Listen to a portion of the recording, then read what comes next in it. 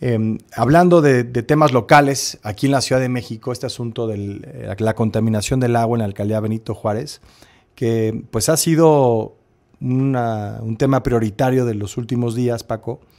Eh, uno se puede imaginar la disrupción a la vida de la gente que vive en la alcaldía Benito Juárez en estas colonias afectadas, a sus negocios, a sus ingresos, simplemente a la forma en la que pues, ¿no? llevan su, cómo cocinas, cómo lavas. su día a día. Eh, y, lo increíble pues, es que después de todo este tiempo no sepamos todavía la fuente de la contaminación. Y le agradezco muchísimo eh, que nos acompañe en la línea de tiempo real a José Luis Luege, presidente de Ciudad Posible y exdirector de la Conagua. José Luis, muchas gracias eh, por estos minutos. Para Al contrario. Eh, Al contrario, Enrique, qué gusto saludaros a ti y a tu equipo. a la orden. primero que nada, entiendo que estuviste en la presa de Valle de Bravo esta mañana y obviamente le quiero entrar al tema de Benito Juárez, pero híjole, la, situación realmente crítica, no solamente en esta presa, en otras, pero en la de Valle de Bravo entiendo ya está en niveles históricamente bajos. La, última vez que yo recorrí Valle de Bravo, Enrique, fue este con el vertedor derramando agua, imagínate. Y ahora el vertedor está 20 metros por debajo del nivel del vertedor, de lo que se llama el cimacio del, vertedor, 20 metros abajo. Es una cosa realmente deprimente. Y bueno, pues es un reflejo de la sequía extrema que sufrió nuestro país el año pasado, que además veníamos de año seco en el 22 el 23 fue la sequía más grave en todos los registros eh, históricos. Y bueno, pues tenemos esta afectación tan seria en el sistema Cutzamala como en el norte del país, con afectaciones muy, muy, muy, muy serias, ¿no? Y ¿sabes qué me preocupa mucho, Enrique? El no reconocimiento de la crisis por parte del gobierno. Eso es algo inconcebible, ¿no? Eh, desde el año pasado yo peleé, insistí, la ley obliga a la declaratoria de emergencia. La ley obliga en este año a la declaratoria de desastre natural, porque la sequía es un verdadero desastre. Pero como el presidente se le ocurrió eliminar el FONDEN, que era, es el instrumento, el Fondo Nacional de Desastres, el instrumento financiero de apoyo a la población en caso de desastres, ya nadie declara una emergencia, Enrique. O sea, no estamos en emergencia. Cuando toda la. Y no solamente los recursos, como, como bien describes, José Luis, también eh, la información, ¿no? Para estas comunidades que se concentra toda la información muchas veces, en, bueno, no muchas veces, todas las veces, en la conferencia matutina y a las dependencias, con todo el conocimiento técnico, con toda la experiencia como la tiene con agua, pues se le limita muchísimo la posibilidad de poder no informar. No les dejan hablar.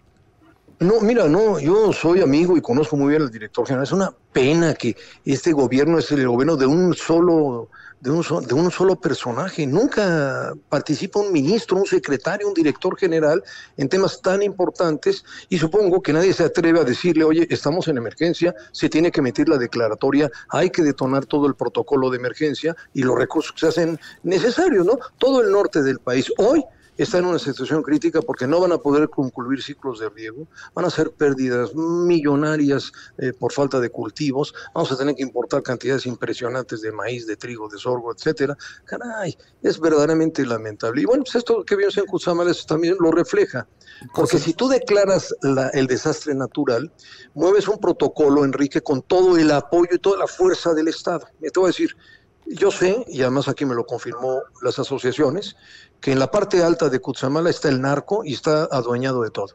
Bueno, pues tú agarras al ejército, a la Guardia y, y, quitas al narco con toda la fuerza del Estado, porque estamos en una emergencia verdaderamente grave. Pero no reconocen la emergencia, no hay problema, no hay sequías, aquí no pasa nada. José Luis. Estamos como que en el paraíso, Enrique. José Luis, aquí Paco Almaraz. Eh, ya de, regreso aquí eh, a Benito Juárez, el, el silencio. yo silencio. a Benito Juárez. Pero ahí nos conocimos, creo, hace añísimos. Sí, ahí tuve el este, gusto. Eh, el agua en Benito Juárez, la contaminación, el misterio de, la temporada, porque ya dijeron que se resolvió el problema, pero jamás dijeron cuál fue el origen ni cuál es el contaminante. Que ya no hay problema. Ajá. Sí, no, no. Mira, hace, hace más de 15 días cuando los vecinos dijeron, oye, hay un olor a gasolina en, en la red de agua. Inmediatamente salió el jefe de gobierno diciendo, no, no hay ningún problema, ya revisamos, ya revisó el sistema de aguas y todo está bien. Y ahora resulta que está confirmado de un contaminante que es hidrocarburo, pero el problema grave, Paco, Enrique, es que ese hidrocarburo está a profundidad en el nivel estático del acuífero, lo cual es muy grave, ¿no? Entonces, lo que está haciendo el sistema de aguas está bien, yo lo hubiera hecho, están ya bombeando de otros pozos, están haciendo acciones para neutralizar los olores y tratar de que el agua esté bien, eso está bien en las tuberías, pero ¿qué, va, qué pasa con el contaminante? Dicen que ya se resuelve el problema, no es cierto. Ahora viene el problema de adeveras. Ya sabemos que es un aceite, eh, eh, petróleos mexicanos técnicos que yo conozco me dicen es un diésel, es un tipo de diésel. ¿Cómo llegó a la profundidad? Nadie lo sabe. ¿Cuál es la fuente? Tampoco se sabe. Pero lo que sí sabemos es, es un hidrocarburo, está en el nivel estático y ¿qué hay que hacer ahora, Enrique Paco? Hay que remediar ese pozo hay que caracterizar la contaminación, más o menos tener una idea del volumen de contaminante y todo un proceso de extracción de ese material y tratamiento. Es decir, estamos frente a una situación muy grave porque está la contaminación está en el acuífero. Y como bien dices, quedan, quedan esas dos preguntas que la, la autoridad, entre otras, tendrá que responder y hacerlo con todo rigor y con toda prontitud cómo llegó el este hidrocarburo al, agua y cuál es la fuente del contaminante. Exactamente. Pero esas dos preguntas, este, Enrique, obligan a toda una investigación donde en teoría debía estar la Fiscalía, debía estar la CONAGUA, la PROFEPA, la COFEPRIS. Si te das cuenta, está totalmente, digamos, eh, aislado el gobierno federal de este problema, ¿no? cuando en realidad la contaminación del acuífero no le compete al sistema de aguas, le compete a la Conagua, porque son aguas nacionales, ¿no? Y lo que yo desde hace varios días vengo insistiendo, el acuífero es el mismo y la contaminación puede migrar de un pozo a otro. Entonces no es un asunto, es un asunto grave, es un asunto muy serio.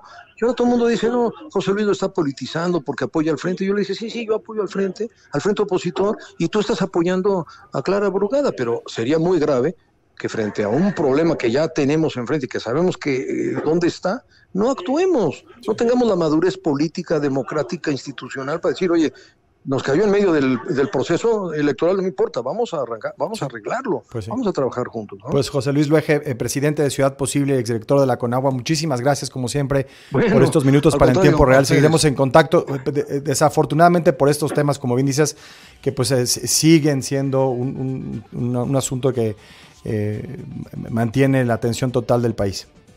Y seguirá. Y seguirá.